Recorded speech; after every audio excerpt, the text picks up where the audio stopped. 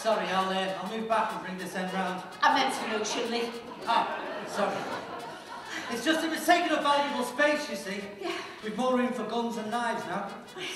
And as your designated liaison officer, I thought I'd pop in and see how you're getting on.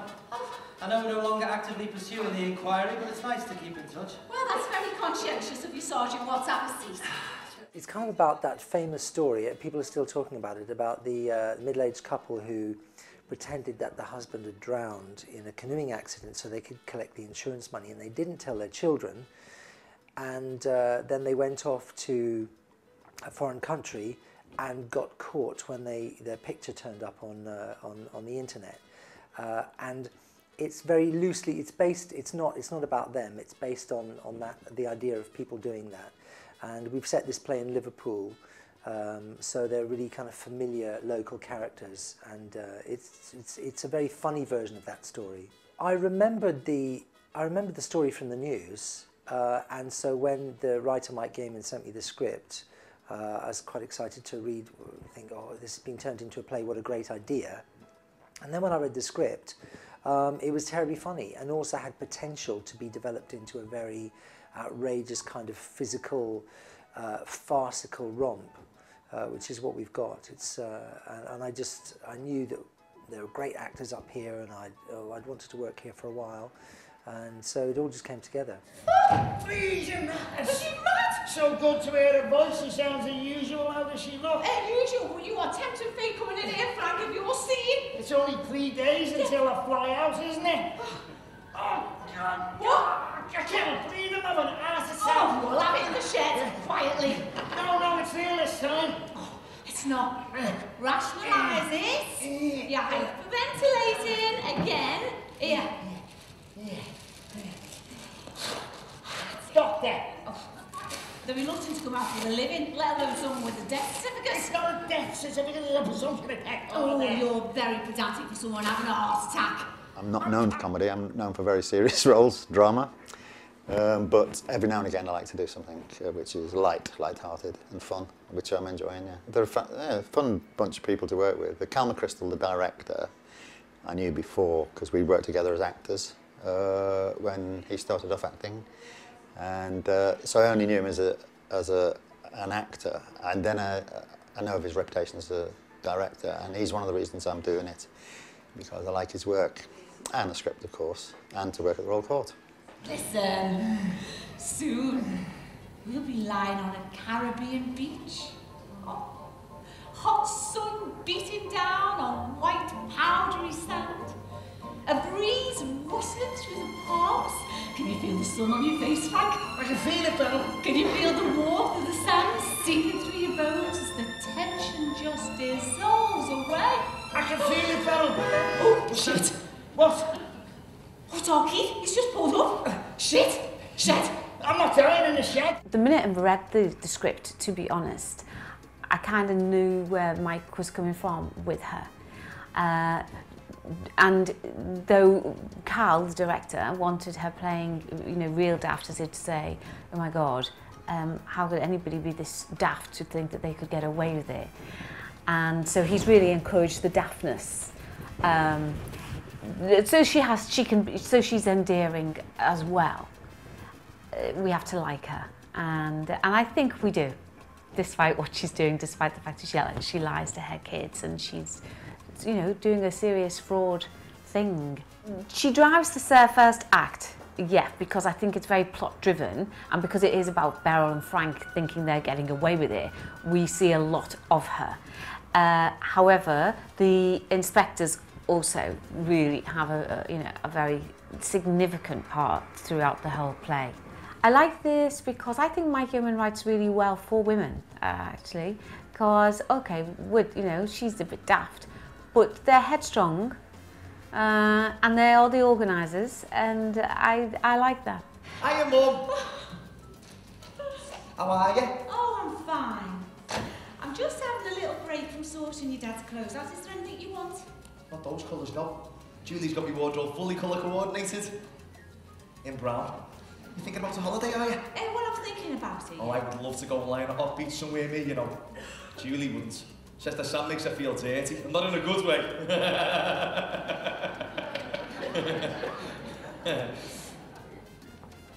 I can come with you. Well, I'm just thinking about it.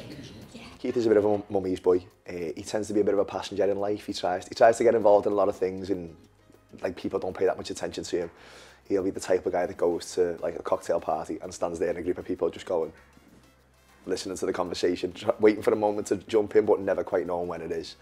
Uh, yeah, he's um, he has a lovely wife called Julie who he is literally whipped so much by. Like he's so under the thumb, it's beyond belief. But uh, but it's all okay because he's got his lovely dog Benny to get him by. So um, yeah, that's he loves Benny. Uh, yeah, that's just basically what gets, get, that, that gets me out of bed in the morning. Last time you guys saw me, I was doing Scouts of the Antarctic, where I was playing Jason, and he was in a similar scenario to Keith, where he was in a relationship where he was getting whipped all the time, and getting told what to do, and getting bullied. And yeah, I've ended up coming into Canoeing for Beginners, playing Keith, who is not a very dissimilar boat from Jason, but it's fun. Have a good time with it. I best be off, all right? Well, I'll be back after work, but then I'm off out again, okay? Not like you. I'm sorry. I couldn't bear it. I had no idea he'd taken it so badly. Well, how did you expect him to take it? Just a few more weeks. When she goes out the country, we'll tell them We should have told him from the start. No, we got his ticks off then. Career. Frank, uh, played by John McArdle, is obviously he's faked his death um, for this insurance money with his wife Beryl, who's played by Pauline Fleming, and me and my sister Carol, played by Angela Sims, um, are just just living life as you do when a parent would die. Like the funerals being arranged, there's been memorial services and stuff, and you just they're just trying to get on with their lives and trying to put a bit of normality to it and just remember them in the right way with regards to sort of get rid of the memories that they don't want and keep the memories that they do. And all while this is going on is he's standing behind doors while they're talking about these types of things and like having an emotional response and getting upset about the memories that they've had about them in the past. So working on that in rehearsals, it it's like it is it's it's quite a traumatic thing what's going on, but then there's some serious comedy in it because it's just a, you'd say it's a surreal scenario, but we know it's not because it's it's happened. This has happened in real life, so yeah, um, playing on like just literally out making it like so snappy. So as soon as one door opens, another one closes, and vice versa. Um, playing with sight lines, so playing with like the blocking of where a character would stand, it'd make you miss a certain moment, but the audience will all see that moment. So yeah, it's um, it's been really it's been really fine tuned, really fine tuned. Which by which with Cal and his background and what he's good at was absolutely perfect for this type of production. Cal has directed it brilliantly. Uh, so blocking, providing it's directed very well, it kind of goes in very quickly because you, if you do it in a very natural way, it sticks. It's only if it feels uncomfortable or unnatural that sometimes you, you don't quite remember it because your brain doesn't want to.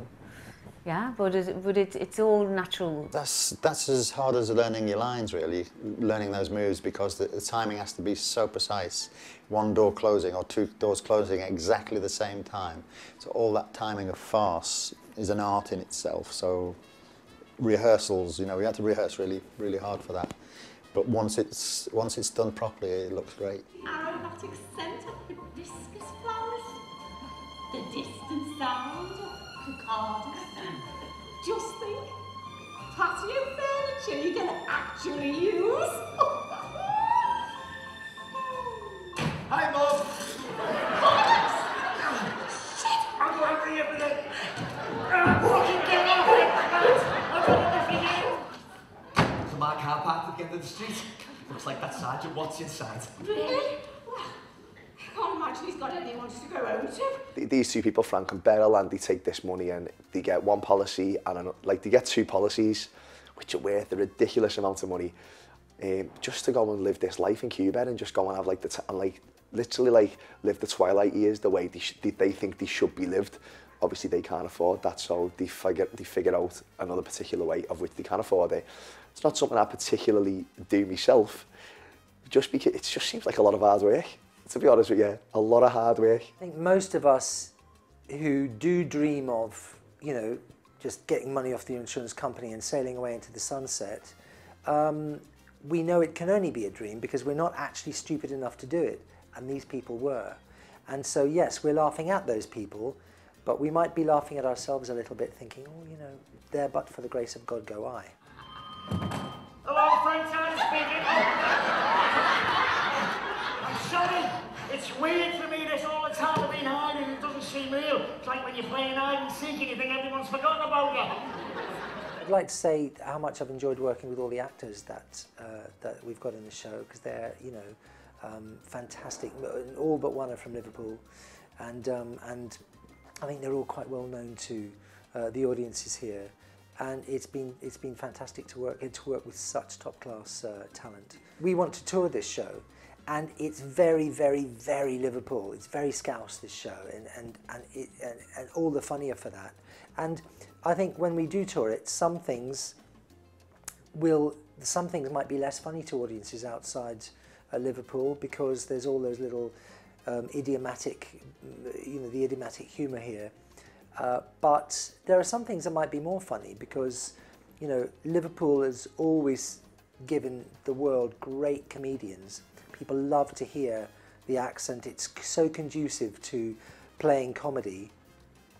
And so, no, I think, uh, I think, I think uh, there'll be some differences if we tour, but uh, generally, I think people will will still be laughing really hard. The combination of Cal McCrystal's direction, uh, Mike's superb writing, and a great cast uh, that understand comedy, I think it is a really good night out. It's the kind of thing I would like to go and see, and I know that I would laugh a lot. You mean hit Smoky Mounds? It'll be a hoot. Need to change. We're fine as we are. Come, Ed. I've got to get the squad car back. I'll let you play with me siren.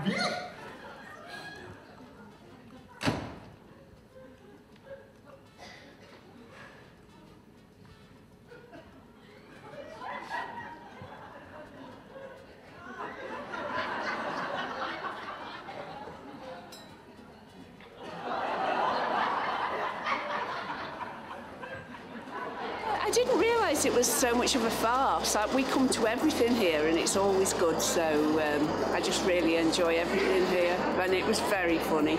It's really funny. Really enjoying it. It's great so far, yeah. Yeah, dead funny, make me laugh, you know. I didn't even Google to see what it was about. I like to watch things and get a shock, you know. So it's a nice surprise, yeah. It's good. Yeah, yeah it's enjoying good. yeah, yeah, enjoying yeah. it. Yeah. Yeah, Very very, good. good. Very good. Yeah, it's just the comedy, really. It's A just, bit uh, slow at first, but then it really built up and it's good. Yeah, I enjoyed it. Enjoying it.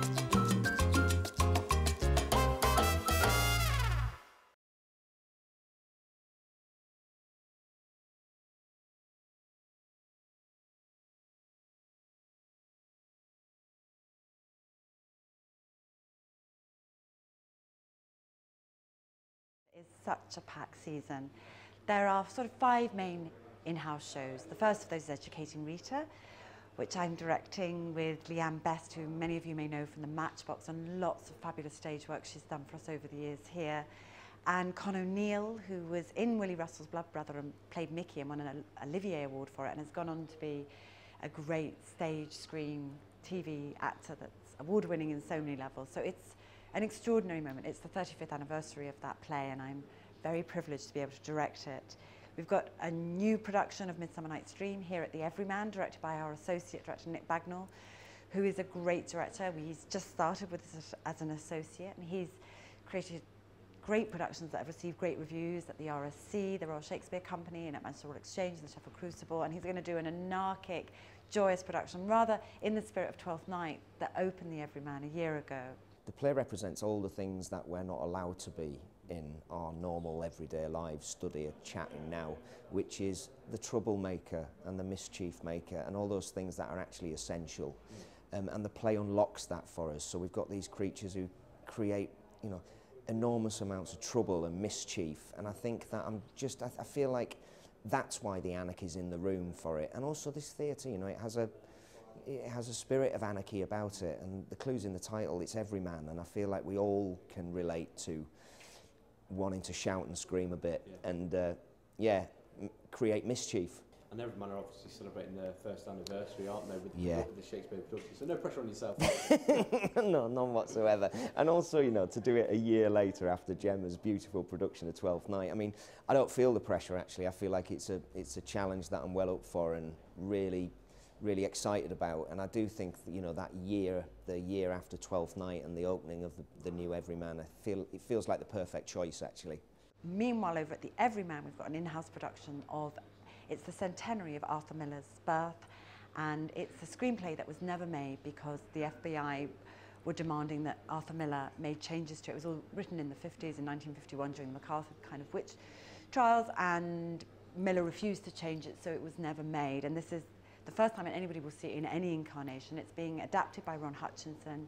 It's a co-production with Northampton Theatre, and it's again, it's about the docks. It's going to be a huge ensemble piece with some community support in it to get a real story of unionism in the 1950s in America.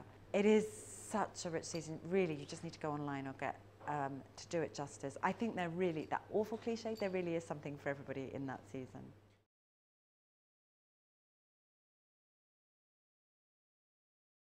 My name's Layla Gwyn and I'm currently the volunteer administrator for Company of Friends. It was started in 2008 and I know Paul Lafferty was one of the founding members, certainly really like important to the beginning of the, the, the group.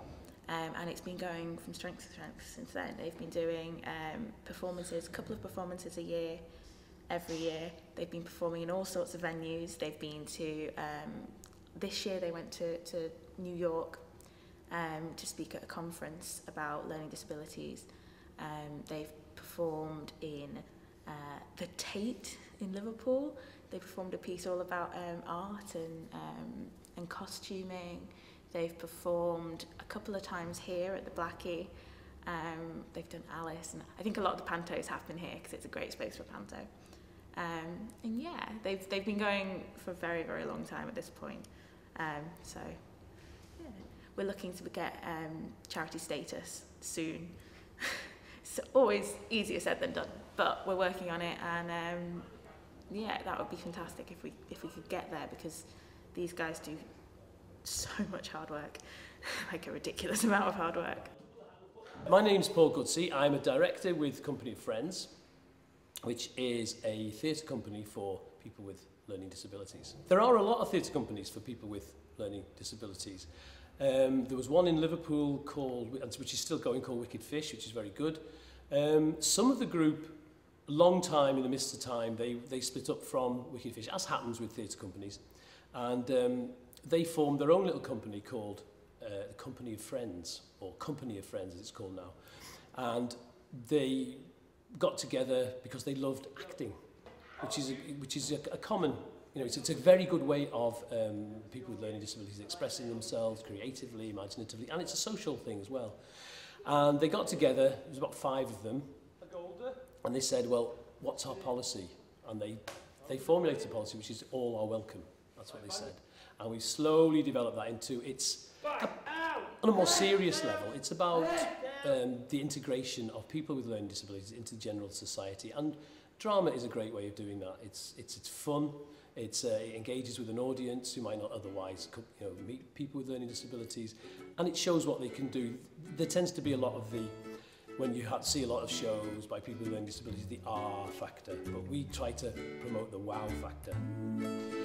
In the new year, well, we have two projects hopefully on the go. Uh, my colleague Helena is running a piece called, for the Heritage Lottery called, um, I think it's called Our Will at the moment, that's the working title. Helena is John Rand's daughter, and John Rand was crucial in forming the company. Um, in the uh, 70s, I think it was, in the 1970s, he was, very, he, he was working for the Home Office, clearing the what were called subnormal homes in those days. Terrible term, but they were, it was taking people out of those homes, taking them off drug regimes which were keeping them very suppressed and getting them into the community. That's where we are now. Helena is carrying on the tradition. She is doing a show about, about people who were in those homes at one time, based around Olive Mount, which is in, in Liverpool, in Wavertree, which used to be a workhouse, and then it was, then it was um, a, a place for where people with learning disabilities in those days used to go. And she's forming a whole story based around a character called Will, who goes in, is, is baptised in church, local church in Wavertree, and then ends up in one of these homes because he has learning disability. And that's sadly what used to happen. People used to put them in homes. And it's about his life. It's a little bit depressing, and we find some of our company members find it a little bit a little bit dour. You know, they don't think they think they're, they're, they're a happy bunch, and they've had a, they've, most of them had a pretty good life. So it's it's delving into the past and seeing what went on in those days to get a sense of what's going to happen in the future. That's one project called Our Will. The second thing is we're hoping to um, go to the Enniskillen Festival of Beckett and Samuel, the works of Samuel Beckett. Last year we did a show about Samuel Beckett, based on the works of Samuel Beckett, using none of his text, but it was, a, it was uh, based on his work, based on his writings. Uh, they did a great little show which we're trying to export. We took it to New York last year to a conference. This year we're hoping to take it to Enniskillen, to the, as I said, to the Beckett Festival. Those two things are two big projects. Everything's a big project with, with Company of Friends. They, you know, they take a long time to rehearse because they've got learning disabilities. It's hard enough to learn to play anyway um, for anybody, so it takes a little bit longer. So they are they tend to be big projects.